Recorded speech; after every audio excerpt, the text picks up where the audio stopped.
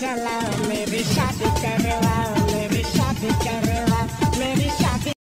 यार तूने भी शादी कर ली। हमजा ये तो सिर्फ़ तेरा अब्बू है कि तेरी शादी नहीं करवा रहा। तूने ज़रूर अबू के साथ कोई ना कोई तरीका अख्तियार किया होगा कि उसने तेरे शादी कर ली। तू मुझे भी बता। तरीका मैं बताता हूँ। तो ऐसा कर के जा और अपने अब्बू को बोल कि अबू मेरी शादी करवाओ। और अगर अब्बू ने तुझे ना कर दिया तो बोल अगर तू मेरी शादी नहीं करेगा तो मैं तेरा नाम मिट्टी में मिला दूँगा। अच्छा, ठीक है तो मैं घर जाता हूँ और अबू के साथ बात भी कर लूँगा और अगर तेरे तरीके ने काम किया तो तेरी तरफ़ से तुझे पार्टी भी दूँगा। हेलो पापा मैं घर आ गया। क्या बात है बेटा? तूने आज पहली दफ़ा मुझे पापा कहकर बुलाया। तेरे मन में क्या खिचड़ी पक रही है? पापा वो मैं ये कहना चाह रहा था कि मेरी उम्र बीस से ज़्यादा हो गई है। अगर आप मेरी शादी करवा देते तो ये अच्छी बात नहीं थी। Oh, no! क्या कहा? तू और शादी अपनी शक्ल देखी है शीशे में? तुझसे कौन शादी करेगा? और अगर कोई तुझसे शादी करना भी चाहे तो मैं तेरी शादी नहीं कराऊँगा। पहले अपने पैरों पर खड़े हो जा कुछ बन फिर शादी का सोच। आवारा घूमता रहता है। अच्छा। तो आप भी सुन ले अगर आपने मेरी शादी नहीं करवाई तो मैं मोहल्ले में आपको किसी को मुँह दिखाने के लायक नहीं छोड़ूँगा। लोफर बन जाऊँगा चर्सी बन जाऊँगा। क्या कहा?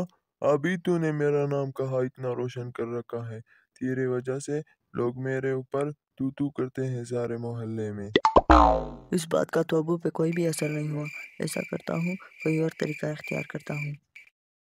अबू अगर आपने मेरी शादी नहीं कराई तो मैं खुदकुशी कर लूँगा।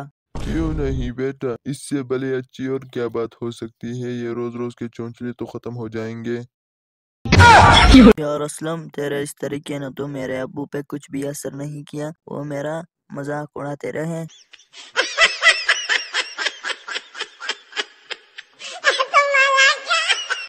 यार, अजीब बात है, मेरी शादी नहीं हो रही और तुम हंस रहे हो। हंसो मत, मुझे कोई और मशवरा दो। अच्छा अच्छा गुस्सा मत हुआ भी बताता हूँ। तुम ऐसा करो कि आज तुम थोड़ी देर से कर जाना अगर अब्बू ने पूछा कि कहाँ गए थे तो बोलना के चाचा के घर गया था। और बोलना के चाचा ने मुझे ताने मार मार कर, मार ही डाला कि तुम्हारा अब्बू कंजूस है, तुम्हारी शादी नहीं करा रहा, तुम्हारी उम्र पच्चीस से ज़्यादा हो चुकी है। ये बात अभी आया ना तू लाइन पे?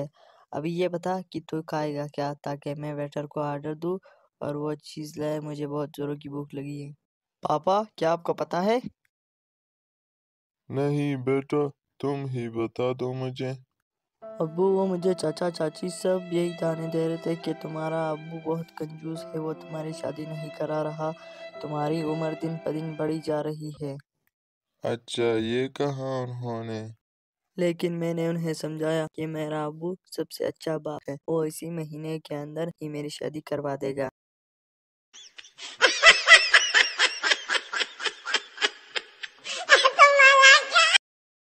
पापा आप हंस क्यों रहे हैं? क्योंकि मैंने साबित कर दिया कि मेरे खानदान में मुझ जैसा कोई कंजूस नहीं।